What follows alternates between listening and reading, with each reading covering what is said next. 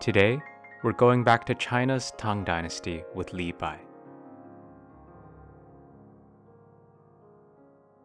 As a poet, Li Bai was known for his love of drinking wine, deriving inspiration from these moments of pleasure.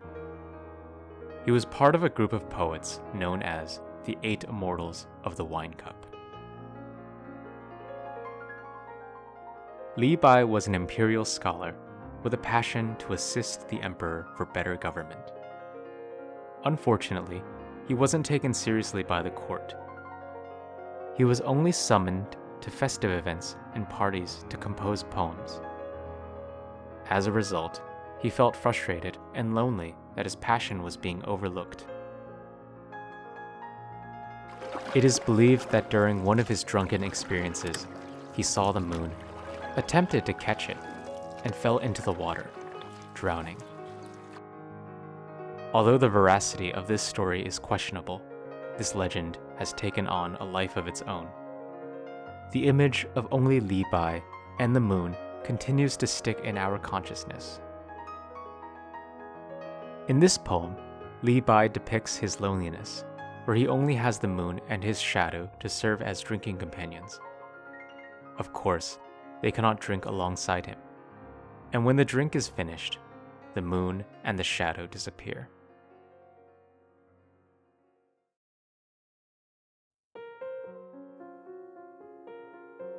Drinking Alone by Moonlight, Li Bai.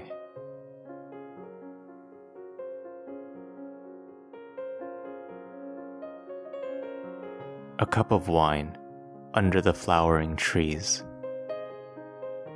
I drink alone, for no friend is near. Raising my cup, I beckon the bright moon. For he, with my shadow, will make three men. The moon, alas, is no drinker of wine. Listless, my shadow creeps about at my side. Yet with the moon as friend and the shadow as slave, I must make merry before the spring is spent. To the songs I sing, the moon flickers her beams.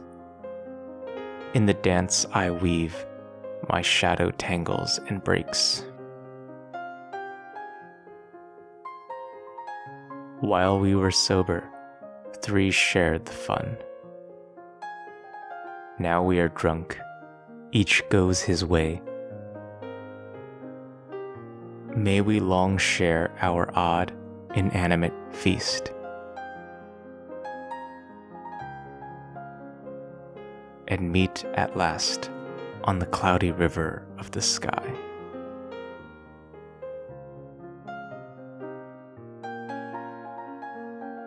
月下独酌，